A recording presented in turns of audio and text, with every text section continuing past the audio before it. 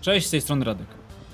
Właśnie teraz na naszych oczach dokonuje się rewolucja w zakresie sposobu wnoszenia opłat drogowych. Rewolucja nazywa się ETOL. Szczególnie dotyczy to pojazdów lub zespołu pojazdów o dopuszczalnej masie całkowitej powyżej 3,5 tony. Umownie nazwijmy je na potrzeby tego materiału ciężarowymi, w odróżnieniu od pojazdów poniżej 3,5 tony dopuszczalnej masie całkowitej, które nazwijmy pojazdami osobowymi. Pamiętajmy też, że pojazd osobowy, który po podpięciu przyczepy razem z nią przekroczy 3,5 tony, traktowany jest w wielkim skrócie jako ciężarówka. Same opłaty możemy podzielić na opłaty państwowe wnoszone na sieci dróg wskazanych w odpowiednich przepisach oraz prywatne, co dotyczy obecnie trzech podmiotów: operatorów fragmentów autostrady A1, A2 i A4. Co ciekawe, państwowe odcinki płatne dla pojazdów osobowych są na razie tylko dwa. To jest autostrada A2 z Łodzi do Konina oraz A4 z Gliwic do Wrocławia. Zacznijmy trochę od historii. W 1998 roku w Polsce wprowadzono opłaty za korzystanie z dróg dla pojazdów ciężarowych oraz autobusów. Były to tzw. Tak karty opłaty drogowej, winiety. Winietę należało kupić, o ile pojazd poruszał się po drogach krajowych. Na innej kategorii dróg takiej opłaty nie było. Najkrótsza ważność winiety to jedna doba, a najdłuższa jeden rok. Były też okresy pośrednie, np. tygodniowa, miesięczna. W lipcu 2011 roku, po kilkunastu latach od wprowadzenia winiet papierowych, nastąpiło przejście na system Viatol. System ten zbudowała firma Kapsz, która wygrała przetarg z tym związany. Nie obyło się przy tym bez trudności i lekkiego poślizgu czasowego. System opierał się na komunikacji urządzenia pokładowego umieszczanego na szybie z czujnikiem umieszczanym z reguły na bramownicach zbudowanych przy drogach, wiaduktach lub innych nadających się budowlach. Wiatol dla ciężarówek wystartował na 649 km autostrad, 554 km dróg ekspresowych oraz 370 km dróg krajowych. Natomiast pod koniec obejmował łącznie 3676 km dróg klasy A, S i dróg krajowych. W systemie Viatol mieliśmy do wyboru dwa typy urządzeń.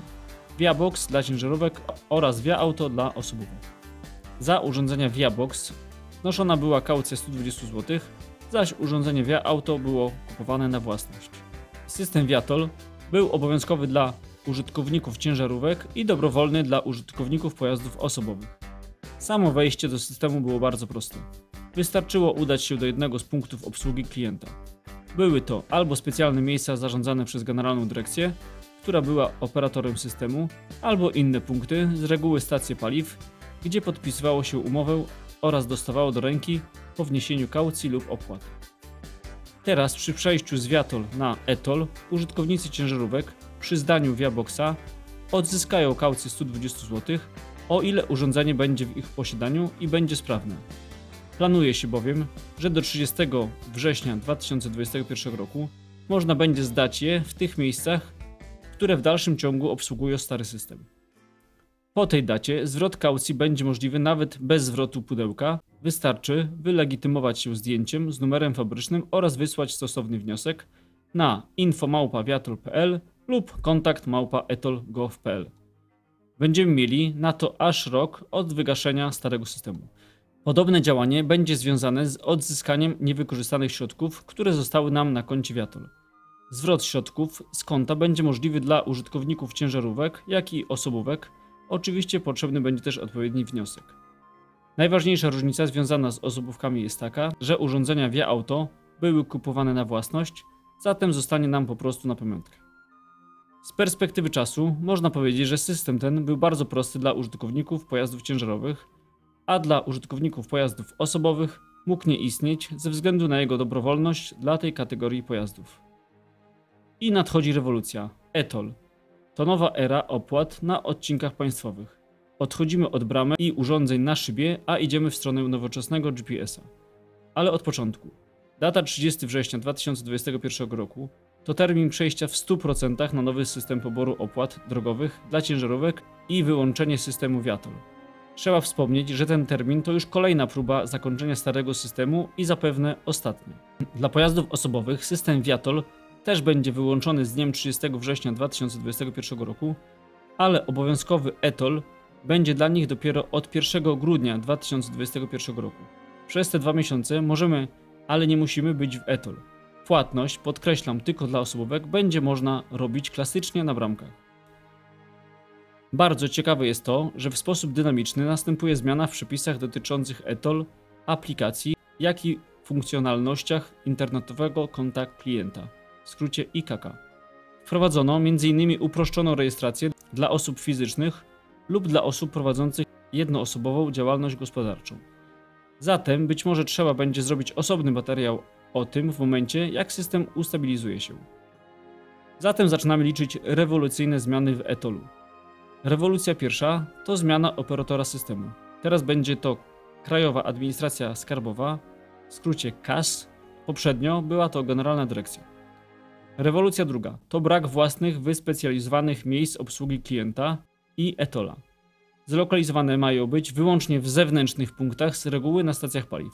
Co prawda może się zdarzyć, że jakaś stacja obsługiwała do tej pory Viatola, a teraz podpisała umowy na Etola, ale to są dwie odrębne sprawy, nie ma tu reguły.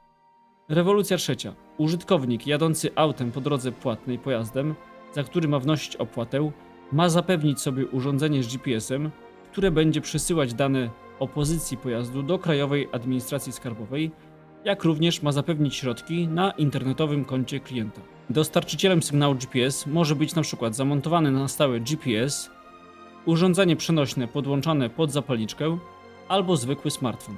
Ogólnie o tych typach urządzeń mówimy albo onboard unit, albo zewnętrzny system lokalizacyjny lub mówimy o aplikacji na smartfonie.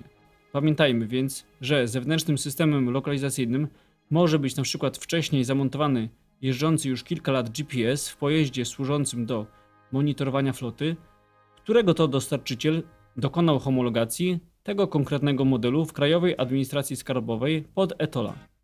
Z reguły są to urządzenia nie starsze niż kilkuletnie, musiały spełniać bowiem szereg wymagań. Ten zatem, kto ma szczęście, nie będzie musiał nic kupować i montować. Wystarczy, że podpisze aneks do umowy na obsługę ETOLA.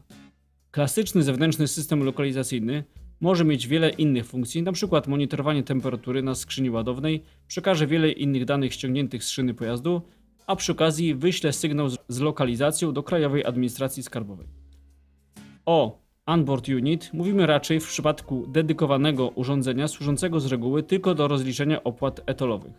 Choć uważam, że samo rozgraniczenie na ABU i ZSL jest płynne, możemy spotkać prymitywne ZSL i rozbudowane ABU. A może za źródło sygnału będzie służył nam smartfon z aplikacją Etola?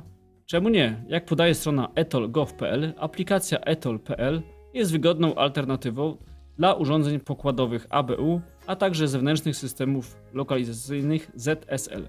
Umożliwia ona wniesienie opłaty za ciężarówki na wszystkich drogach, a za osobówki na wspomnianych wcześniej dwóch odcinkach A2 i A4. Będziemy też mogli monitorować stan konta w trybie płatności z góry. O ile ktoś przebrnie przez wybór urządzenia, które będzie przekazywało pozycję pojazdu do Krajowej Administracji Skarbowej, to ma już pół pracy za sobą z wdrożeniem Etola. Następnie trzeba założyć na etol.gov.pl internetowe konto klienta. Uwaga, jest ważne rozgraniczenie na konta zakładane na osobę fizyczną oraz na firmy, które reprezentuje pełnomocnik. Pierwszy przypadek jest bezproblemowy, podajemy swoje dane maila. W przypadku firm trzeba najpierw zarejestrować konto osoby fizycznej, przyszłego pełnomocnika, następnie pełnomocnik rejestruje firmę podczepiając PDF-a z pełnomocnictwem. Osoba rejestrująca firmę staje się administratorem konta po weryfikacji dokumentów i może nim zarządzać za podmiot, np. dodawać i usuwać pojazdy, podczepiać ABU, ZSL lub smartfony pod pojazdy, rejestrować kolejne osoby do obsługi konta, przejazdów, co wydaje się konieczne w przypadku flot po kilkaset pojazdów. Obsługę działań związanych z rejestracją można prowadzić osobiście w miejscu obsługi klienta ETOL i wtedy większość opisanych operacji powyżej zrobi za nas obsługa naziemna. Możemy też nie pojawiać się ani razu w miejscu obsługi klienta i wszystko załatwić zdalnie, o ile korzystamy z profilu zaufanego, w tym logowanie przez banki lub M-Obywatela. Natomiast o ile wybierzemy autoryzację do internetowego konta klienta przez login i hasło, to niestety trzeba będzie udać się do miejsca obsługi klienta Etola w celu weryfikacji danych. Dużą uciążliwością systemu jest to, że trzeba parować urządzenia z pojazdem, po tzw. numerze biznesowym urządzenia, a następnie go aktywować. W przypadku pojazdów ciężarowych jest to jeszcze do przeżycia, gdyż wiele osób wybierze zewnętrzny system lokalizacyjny lub onboard unit i nie będzie przenosić urządzeń pomiędzy pojazdami zbyt często. Natomiast w przypadku pojazdów osobowych, osób prywatnych, gdzie większość wybierze aplikację na smartfonie, jest to duże utrudnienie. Trzeba będzie zmieniać w internetowym koncie klienta przypisanie urządzenia do pojazdu, gdyż tylko jedna z nich może być aktywna. Wyobraźmy sobie, że pojazdem jeździ kilka osób dziennie ze swoimi smartfonami i jeżdżą po odcinkach płatnych. Czekają ich ciągłe zmiany. Zbliżamy się do końca uruchomienia Etola. Mamy urządzenie z GPS-em, mamy konto lub i aplikację, wprowadziliśmy pojazdy, numer biznesowy urządzeń, które sparowaliśmy i aktywowaliśmy z pojazdami. Musimy wybrać jeszcze formę płatności za przyjazdy. Może być to przedpłata lub płatność odroczona. Przedpłatę można wnieść gotówką, kartą w miejscu obsługi klienta, plikiem lub przelewem, natomiast płatność odroczona wymaga wniesienia zabezpieczenia na zasadach podobnych jak przy Wiatolu. Od 23 września jest też możliwość rejestracji w systemie ETOL za pośrednictwem operatorów kart flotowych. W tym przypadku należy zgłosić się do swojego operatora kart flotowych. Przy czym na starcie tej opcji nie było wśród firm PKN Orlen i ich kart floty. Użytkownicy zgłaszają wiele błędów związanych z działaniem ETOLa. System ETOL to tak naprawdę rozwinięcie systemu używanego do monitorowania przejazdów z towarami wrażliwymi, gdzie taki sposób skomplikowania znajduje jeszcze uzasadnienie. Natomiast dla pojazdów osobowych jest zdecydowanie za bardzo bogaty i rozbudowany. Mnie osobiście najbardziej drażni ciągłe rejestrowanie pozycji, lokalizacji, czy to przez ZSL, czy ABU, lub nawet aplikacje i przesyłanie tych danych do Krajowej Administracji Skarbowej. Nawet wtedy, kiedy jeszcze nie jest dane urządzenie sparowane w internetowym koncie klienta z pojazdem. Słowem, wielki brat czuwa. Co prawda, dane takie powinny być odrzucane przez Krajową Administrację Skarbową, ale zobaczymy, jak to naprawdę będzie. Na koniec warto wspomnieć kilka słów o trzech koncesjonariuszach zarządzających odcinkami autostrad potocznie nazywanymi prywatnymi. Są to Gdańsk Transport Company, odcinek z Gdańska do Torunia. Firma istnieje od 1997 roku i w 2039 roku przekaże autostradę stronie publicznej. Wybudowała drogę od zera. Autostrada Wielkopolska, zarządzany odcinek od Świecka do Konina, spółka powstała na przełomie 1992 i 1993 roku, zarządza autostradą do 2037 roku. Większość drogi została wybudowana, część dostosowana do parametrów autostrady płatnej. Staleksport Autostrada Małopolska, odcinek Kraków, Police, Katowice, Murskowska, koncesja od 1997 roku na 30 lat. Spółka dostosowała istniejącą drogę do parametrów autostrady płatnej. Tu sytuacja jest bardzo prosta, jeśli chodzi o opłaty. Można je wnosić gotówką, kartami płatniczymi, paliwowymi lub dedykowanymi. Część operatorów dopuszcza bardziej przyjazne formy płatności opartej na odczycie tablic rejestracyjnych. Wideo to link, czy to w powiązaniu z aplikacjami np. AutoPay, SkyCash, czy kartami paliwowymi np. PKN Orlen czy Rutex.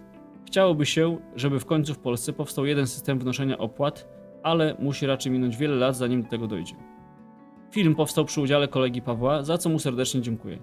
Jeśli spodobał Ci się mój film, zasubskrybuj mój kanał, daj łapkę w górę oraz napisz komentarz, co Ci się podobało lub nie. Dzięki.